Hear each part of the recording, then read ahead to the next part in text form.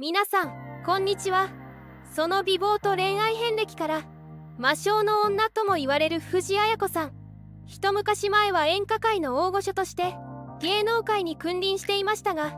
最近は可愛い猫ちゃんが登場するインスタグラマーとしても幅広い年代から支持されています。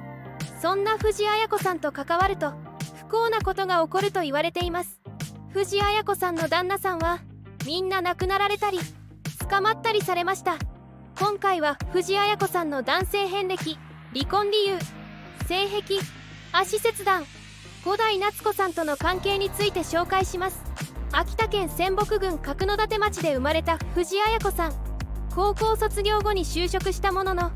職を変えながらも民謡歌手として地元で活動していました。当時から秋田美人として地元で有名だったようで他県からも藤あや子さんを見るために訪れる人もいたそうです。19歳の時に秋田県のミス花嫁コンテストに出場し優勝しました。ミス花嫁コンテストで優勝した翌年の1981年に藤あや子さんが結婚されました。当時19歳で地元の秋田県で2歳年上で21歳の男性 F さんと結婚しました。F さんは地元では暴走族をしていてシンナーで問題を起こしたこともあった人物です。藤あや子さんは結婚式の時にはお腹が大きかったということなので授かり婚だったと思われます。同年には娘の未来さんを出産しています。娘さんは目元のあたりが富士山に似ていて綺麗な方のようです。娘さんが生まれた年は1981年ですから2023年で42歳になります。藤あや子さんは結婚からわずか1年後の1982年には離婚しシングルマザーとして一人娘を育てました。離婚原因は明らかにされていませんが元旦那さんの F さんに問題があったようです。元旦那さんの F さんは定職に就かずフラフラしていたと噂されていたそうなので初めての子供を育てる藤あや子さんにとっては不安もあり離婚を決断したのでしょう。お互いに若さの勢いで結婚し後から価値観の衝突があったのかもしれません。1番目の元夫の F さんは藤あや子さんが2番目の夫の高橋さんと再婚したことを知りショックと心労から1986年に自宅の鴨居にスカーフをかけて首をつって亡くなりました。こんなにショックを受けたのは離婚前に結んだ約束を破られたからでした。F さんは藤あや子さんに子供と自由に会えなくなるからやめてくれと頼み込んでいたようです。F さんのご家族によるとそもそも藤が妻らしくしてくれたらこんなことにはならなかったんです。シンナーにのめり込むようになったのは離婚してからです。子供がとても好きで自殺したのも藤というよりは子供と離れることになったのが原因だと思うと話していたようです。元旦那の F さんにとって子供は何よりも大事な存在だったんです。結婚されて二度と子供に会えない寂しさからシンナーに溺れてしまったのですね。藤あや子さんは F さんと離婚後農家で民謡グループを率いて興行をしていた高橋さんと交際を始めました。高橋さんと一緒に民謡の歌い手としてホテルや老人ホームを回っていたそうです。そのまま良好な関係を築き1986年25歳の時に秋田県大曲市の式場で結婚式を挙げました。実は高橋さんには藤あや子さんと結婚する前に妻と2人の子供がいたため略奪婚のようです。数百万円の慰謝料を払ったそうです。妻と離婚してでも藤あや子さんと結婚したいと思わせるほどの魅力があったんですね。しかし実は藤あや子さんは高橋さんと籍は入れていませんでした。内縁の関係を1年間続け結婚生活は終わってしまいました。藤あや子さんの1番目の夫が自殺をしたことがきっかけで人生は短いということを悟った藤あや子さんは歌手になる夢を叶えるために高橋さんの元を離れて上京する決意をしたというのです。夢を追うため以外に高橋さんの近所の方は農家に嫁いだのに草むしり一つしなかった。と語っていたそうで藤あや子さんと農家の生活が合わなかった。ということもあったのかもしれません。高橋さんは離婚までして藤あや子さんと結婚する道を選んだにもかかわらず捨てられてしまい相当ショックを受けたと思われます。上京して間もなく大手芸能事務所バーニングに所属が決まりました。上京した翌年には26歳という若さで村瀬まなみという芸名で活動しました。2人がわって念願のデビューを果たします。そして1987年に藤あや子さんに芸名を変えて再デビューし1992年にリリースした「心酒」が大ヒットし「紅白歌合戦」に出場するなど一躍人気歌手の仲間入りを果たしました。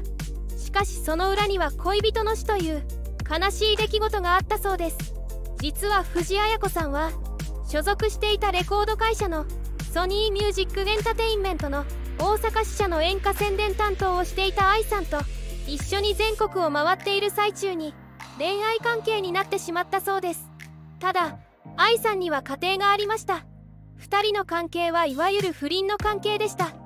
さらに自社のタレントに手を出したということが明らかになり愛さんはソニーから厳重注意されたといいます。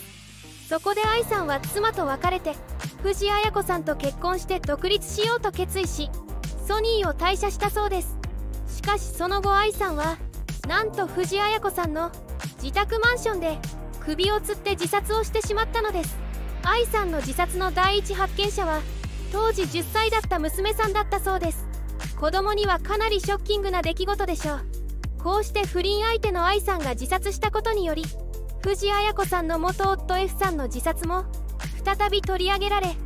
魔性の女と呼ばれるようになりました。そんな藤あや子さんは2017年に24歳年下の鍼灸師の男性と再婚しています。その再婚相手の男性は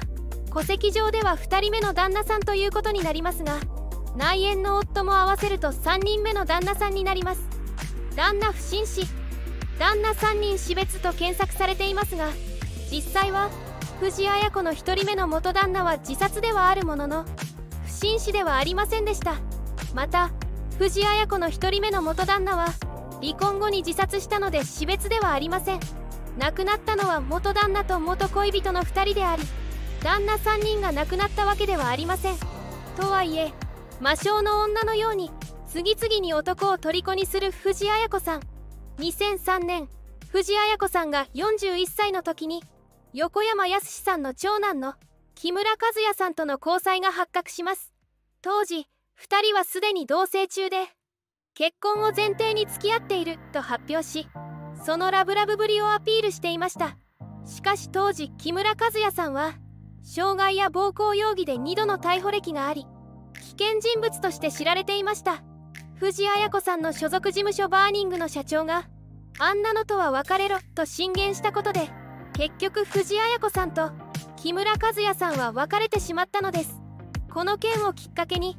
木村和也さんは芸能界を干されてしまい2006年3月には銃刀法違反で3度目の逮捕をされ再び世間を騒がせました。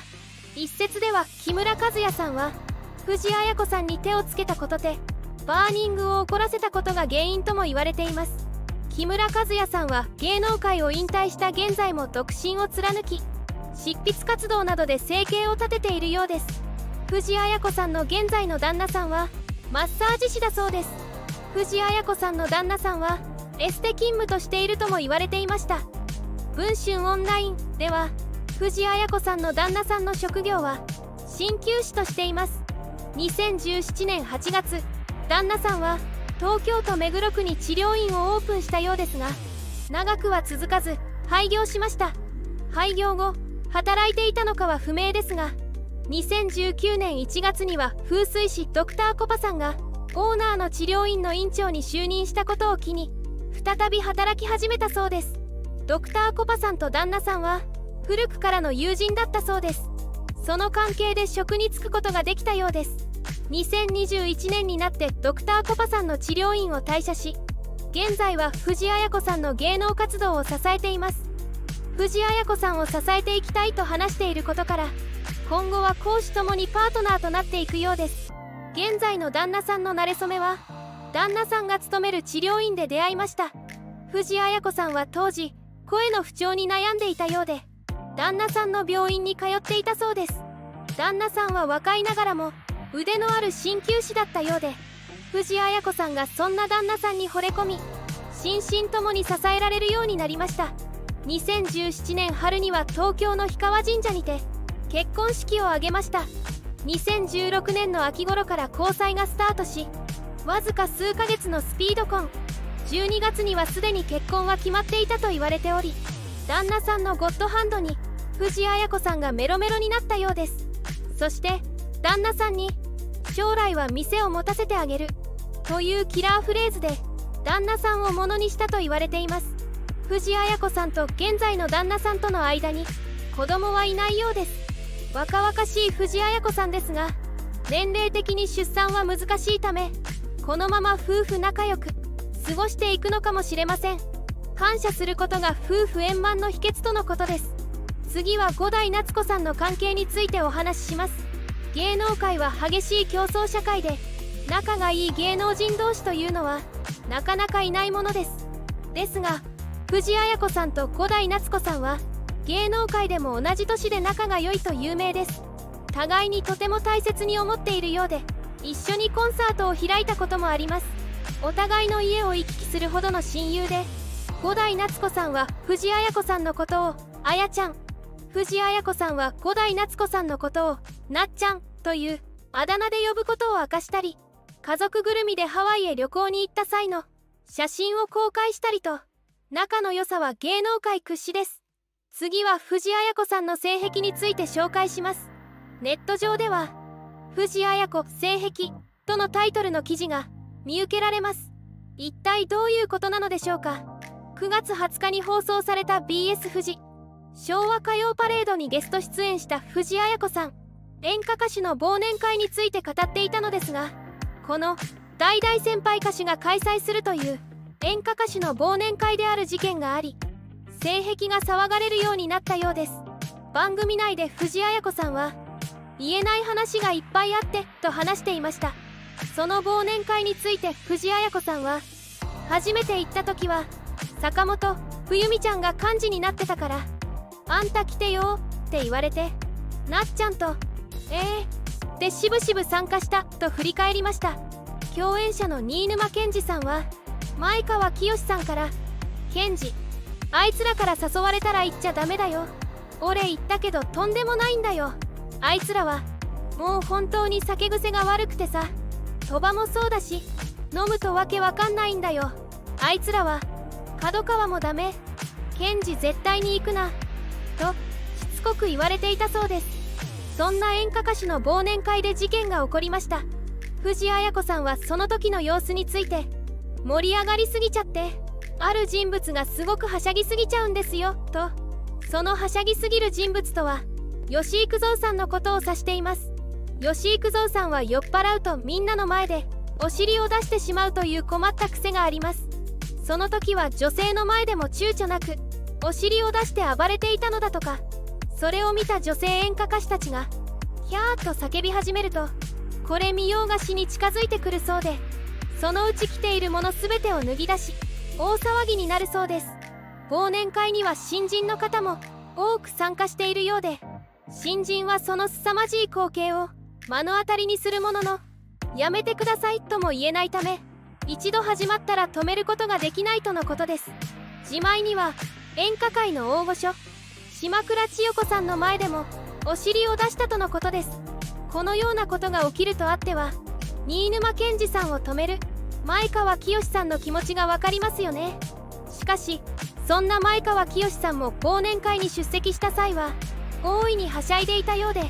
五代夏子さんによると前川清さんが写る写真では全て前川清さんがベロを出していたそうです。そのため番組ではそんな自分の姿を見られたくないがために新沼謙治さんが参加するのを止めたのでは？などと指摘されていました。このように実際は藤あや子さんの性癖が暴露されたわけではなく吉幾三さんがはしゃぎすぎたあまりお尻を出してしまったという話だったようです。演歌歌手といえばおしとやかで静かな方が多いイメージですがそんなイメージとは裏腹にプライベートではなかなか遊んでいる方が多いようです。最後に藤あや子さんの足が切断されたとい。う噂について紹介しますつい最近藤あや子足が大変。といった言葉が検索されているみたいです。何でもすぐに病院に駆けつけたほどの緊急事態だったとか両足が原因で病院にかかったそうです藤あや子さんは以前突発性聴覚障害で体調を崩し点滴治療で安静にして回復を待っていた時期がありました。この時は引退説も出るほど危険な状態だったとも言われています。何かこれ以上に大きい病気にかかってしまったのでしょうか。調査してみると実は足が原因で病院にかかったのは藤あや子さんではなく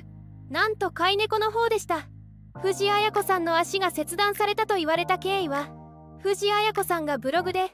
病院へと切り出し俺ちゃんの足の付け根が大変なことにと愛病の姿を公開したことに始まります。ブログには毛が抜けて赤く刺された跡がと写真を貼り付けて説明しかかりつけの病院で見てもらいましたと報告しました。続けて検査の結果特に問題はないとのことと検査結果を明かしました。本当に良かったですね。藤あや子さんはほっとしましたと安堵した様子でコメントをしていました。続けて舐めても大丈夫な塗り薬を処方されました。と述べ良かったと綴り最後に愛病たちの姿を公開し疲れたねゆっくり休んでねとブログを締めくくりました。この投稿にファンからは大変でしたね心配しました。お大事になさってくださいなどの多数のコメントが寄せられていました。いかがでしたか？今回は藤あや子さんの男性遍歴離婚理由性癖足切断五代夏子さんとの関係について紹介しました。藤あや子さんと別れた後の男性に何らかの不幸な出来事が起こっています。それが藤あや子さんが魔性の女と言われるゆえんです。現在は24歳年下の男性と公私ともども幸せな日々を過ごしているようです。性癖は他の芸能人のことでした。足切断と言われていましたが実際はペットの足が怪我してしまったという話でした。藤あや子さんの両足に何事もなくてよかったですね。最後まで動画をご視聴いただきありがとうございました。コメントを残してくれると嬉しいです。チャンネル登録高評価もぜひお願いいたします。それではまた。